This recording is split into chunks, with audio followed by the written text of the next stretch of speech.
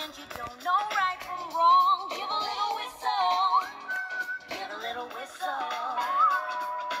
If you meet temptation and the urge is very strong, give a little whistle, give a little whistle.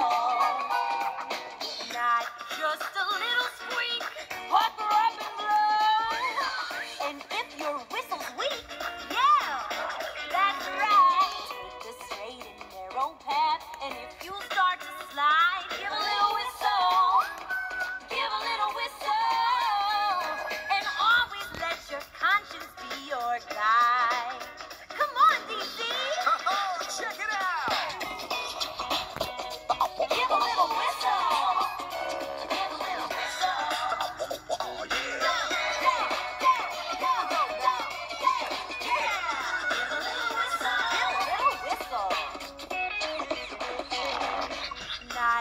just a little